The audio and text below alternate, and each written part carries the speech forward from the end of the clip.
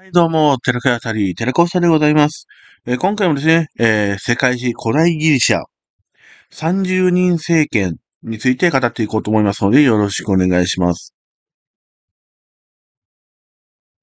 時代の範囲を捉えようということでございまして、紀元前404年から紀元前401年ぐらいのお話になります。体制といたしまして、ペロポネソス戦争でですね、えーアテネがスパルタに負けました。ギリシャの権力を握っていたのはアテネでしたが、それがスパルタに移り、スパルタはですね、アテネをですね、具々化しようと、えーしていきます。そう、スパルタのですね、強い影響下においてですね、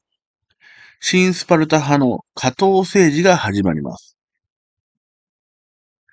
これがなんで支持されたかっていう話なんですけども、アテネは民主政治を大事にしている国家でしたが、民主政治が衆議政治になって暴走したんですよね。これ以上戦争をすべきではないっていう状況下なのにもかかわらず、民意、ね、多数決でですね、民意が決まってですね、戦争を続行することになって、結果、スパルタに負けてしまった。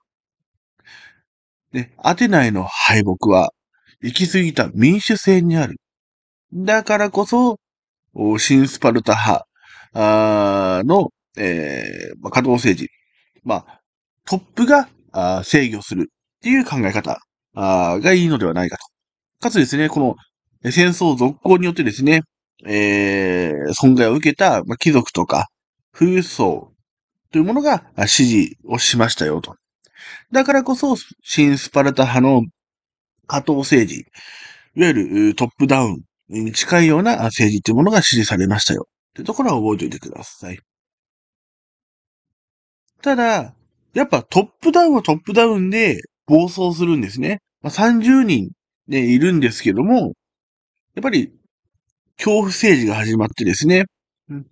制御できる権力を持っているわけですから。まあ、その中で、一応30人いる中で過激派と言われたのがクリティアスっていう人ですね。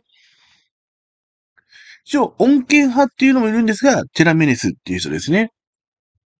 まあ、このテラメネスはですね、あのー過激派に潰されてしまうんですけども。まあ、でも、この恐怖政治っていうものは、ね、貴族、富裕層が支持はしているんだけども、全部王政、まあ、王政と言います30人政権、えーに投資しろという形でですね、貴族や富裕層の財産を奪い始めるんです。で、その暴走をね、えー民主制も理解してるんで、まあ、それに対して敵対行為、まあ、反対勢力が出てくるわけですね。それももう、もう、粛清すると。まあ、ギロチンじゃないですけども、えーそれはフランス革命の時ですけども、それよりも前にギリシャでですね、そういった、あトップダウンでの、お行政治というものが行われましたよと。そうしたらですね、やっぱ民主派のね、えーヒーローが出てくるっていうのが、まあ歴史の中のストーリーになりますね。ホラシュブロスという人がですね、えー民主派のおー国民をですね、えー焚きつけてですね、30人政権と戦おうじゃないかという形になります。で、当時ですね、えーアテネの主要港であるペイライエウスっていうね、港、えー進軍するんです。これはやばいなと。港を占拠されてですね、海外勢力を味方につけてですね、戦われると、さすがに30人政権とて、スパルタの支援があるとて、えー負けてしまう可能性がある。だから、過激派であるですね、クリティアスがですね、えー戦いを挑み始めるんですが、そこで、クリティアスは死亡してしまいます。で、新スパルタ派をやっとですね、アテネに植え付けたにもかかわらず、具々化できないっていうことであるんで、スパルタはですね、支援をするんですね。サウサニアス王を率いる支援。いわゆる軍勢を送ったんですね。でも、やっぱ勝てなかったのとですね、まあ、スパルタもですね、あの、ペロポネソス戦争の後に、また大規模な戦争をしたくないわけなんで、朝廷を持ちかけるんです。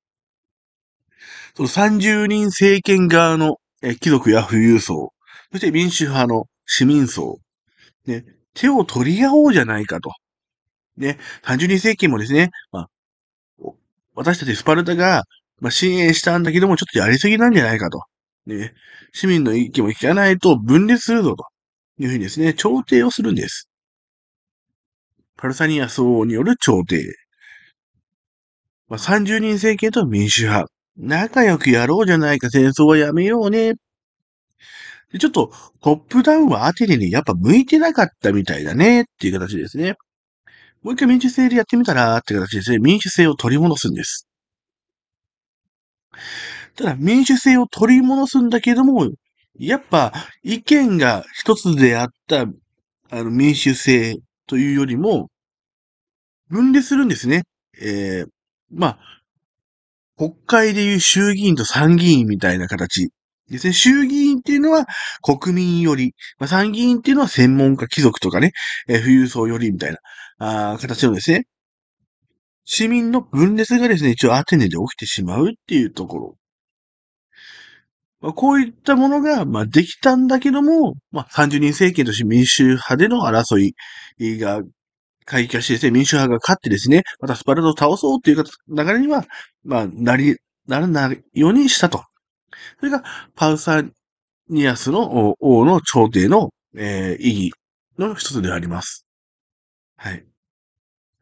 で、まあ、スパルタがですね、あのー、一応ギリシャをですね、調停して、えー、取り持ってですね、えー、強くしていく中で、やっぱりあの、ペルシャっていうものが邪魔なんで、アキメネス朝ペルシャですね。このアキメネス朝ペルシャをですね、倒すために小アジアに出ていくんです。ただ、そのスパルタがギリシャを統一したり、調停をしたりする権力を持って、まとまった力を持って小アジアに、じゃあですね、ペルシャはやっぱ勝てないので、まあ、最終的にですね、また内戦をしてもらって、えー、ペルシャに攻めてこないようにしてもらおうというふうに策略が進みます。それが、